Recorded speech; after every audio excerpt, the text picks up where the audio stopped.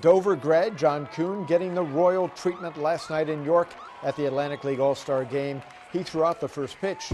Kuhn won a Super Bowl ring with the Packers five months ago, but is now a free agent, wondering just when the lockout's going to end. I'll tell you what, I'm watching it as close as all the fans out there. I'm ready to get back, just like they're ready for us to get back. So I'm just waiting for that phone call. You know, it's a little frustrating, and uh, you just try and stay positive about it. This gives you a little extra time to see your family and to see your friends, and you know maybe take a vacation that you couldn't take ahead of time. We keep hearing a deal might be done by next Thursday. Kuhn showing off his massive Super Bowl ring, which weighs more than a kid's bike.